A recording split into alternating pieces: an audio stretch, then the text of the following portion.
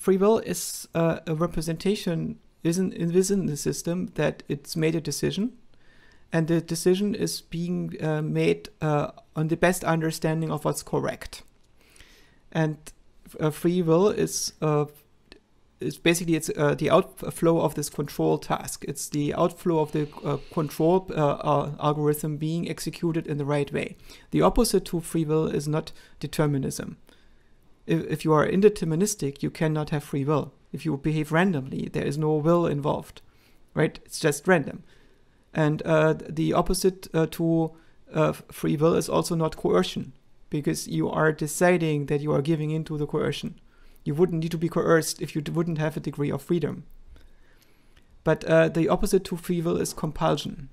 It's basically when you do something despite knowing better. The opposite of free will is compulsion as well as randomness? Uh, so uh, uh, randomness is the absence of will at all, right? A I system see. that is random has no will.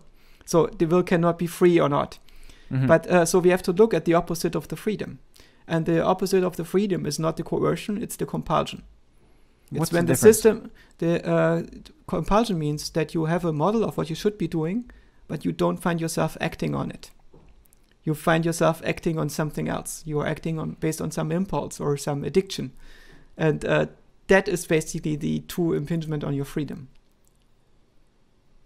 Uh, but uh, it's important to realize that uh, freedom is not an absolute uh, notion in the physical sense. It's uh, it's a reference that we make to certain internal states. So when I refer to my own decisions as being the result of my free will, it depends on the context in which I use this. And when I talk about the experiential context, I experience my will as free when I have the impression that I made the decision based on parameters that are the right ones, that are uh, in the proper order with respect to the control structures that my mind currently implements.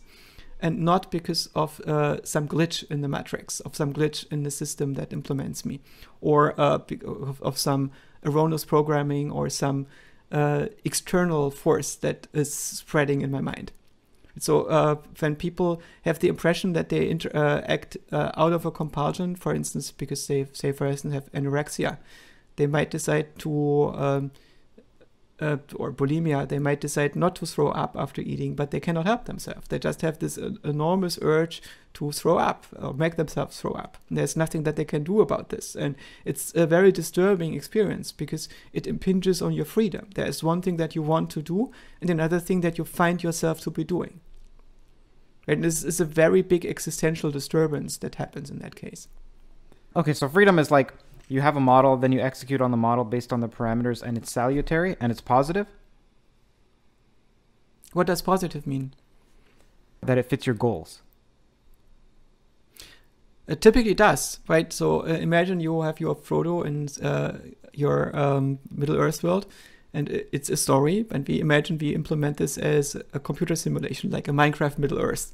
And you have your Frodo agent in there, and the Frodo agent is acting based on models that Frodo is creating.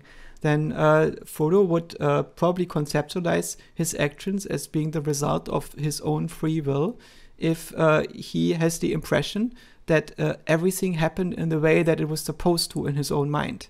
That is, mm-hmm. he is perceiving certain things. There are certain things he wants as a result of his uh, physiological, social, and cognitive needs, and spiritual, transcendental needs, maybe, which I think may be understood as a class of social needs.